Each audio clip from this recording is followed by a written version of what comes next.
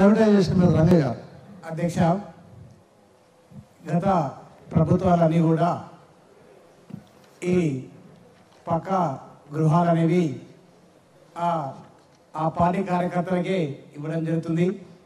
కానీ నిరుపేదటువంటి పూరిగిరిసలు ఉన్నటువంటి నిరుపేద కుటుంబాలకు ఇప్పటివరకు ఏ ప్రభుత్వం కూడా సరైనటువంటి సౌకర్యమైనటువంటి వసతిని కల్పించలేకపోయింది.